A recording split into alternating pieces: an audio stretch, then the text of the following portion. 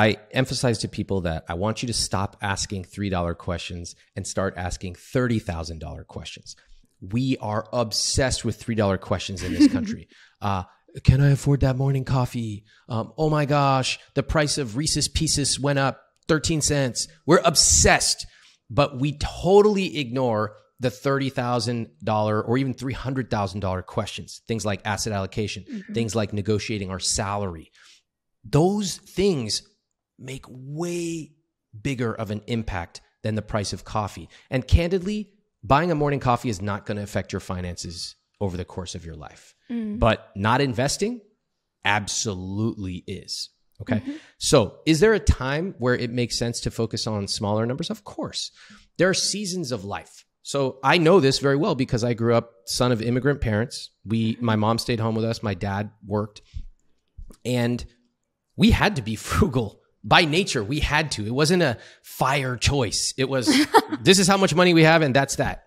And I remember this hilarious moment where my parents went into a bank. They had to get a one of those bank orders or you know where they certify it mm-hmm. and they came out laughing and i was like why are you laughing and they were like the bank told us that they'll waive the fee if we have $10,000 in our accounts and they were laughing because it was so inconceivable that they would have $10,000 in their accounts and you know I know what it's like to not eat out that often, only eat out with a coupon. I get that. And we mm-hmm. needed to do that at that point in mm-hmm. our lives. I have no issue with people being strategic about their spending, about being highly decisive and selective about where they spend money and where they don't. And early on, you do need to build up a skill of knowing, hey, where's my money going? Mm-hmm. I need mm-hmm. to track it for a month. Okay. All of that I agree with. I think the problem is that people get stuck doing that. It would be like getting stuck as an adult waddling around like a little toddler. of course, you don't waddle around. You know how to walk. In fact, you know how to run. That's life. We move to different phases of life. So, how come so many of us are still stuck tracking the price of every little thing?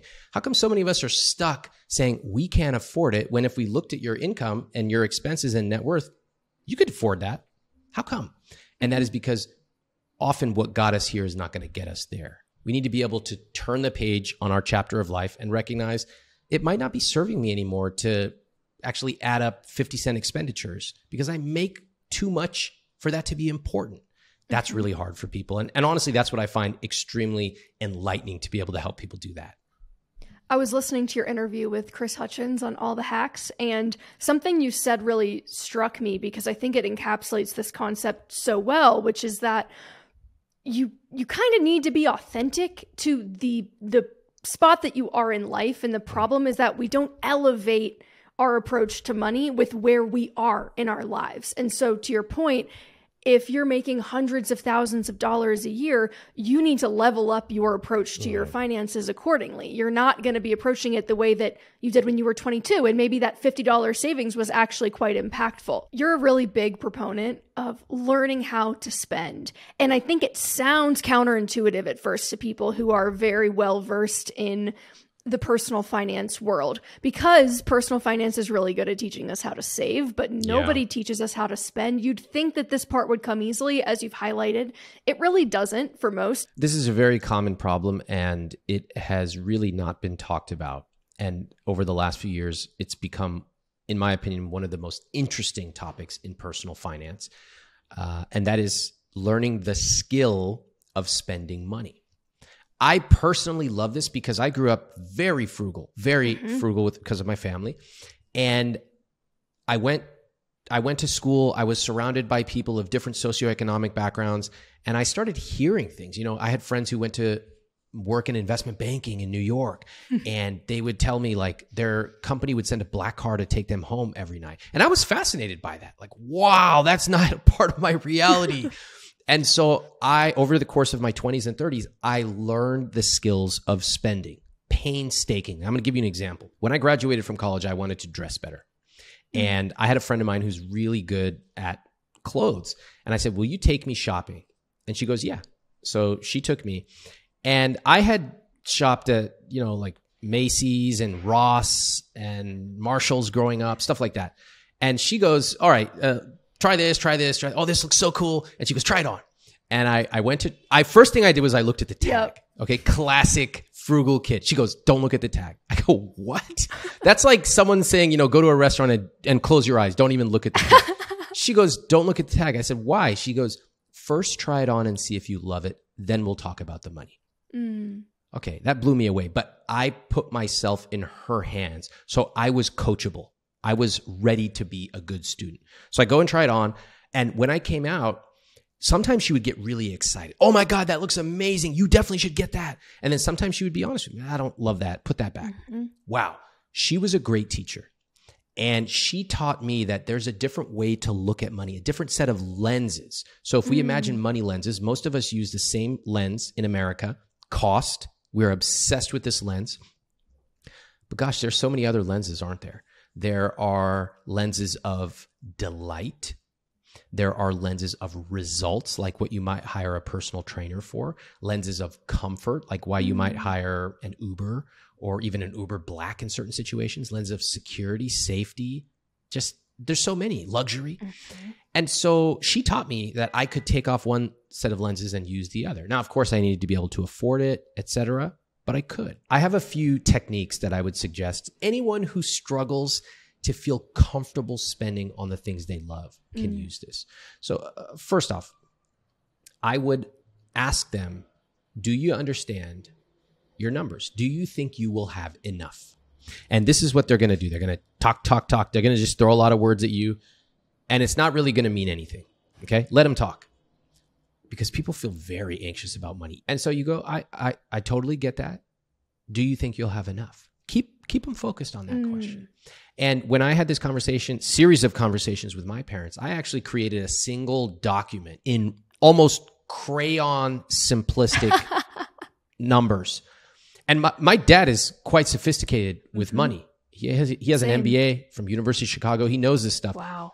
but there's a difference between knowing it and feeling it. Okay, so first, I made sure to get my mom and dad involved in this conversation. And I made sure that it wasn't the typical thing of, you know, dad handling the money or mom handling the money. Both talked about it and they both talked with each other with me facilitating. That was number one. Number two, I said, What are you going to do with this money? Mm. And um, one of the answers that my parents gave was, um, I don't know, like give it to the kids. We go, we don't want the money. We have enough money. You taught us how to make money. You taught us everything we know.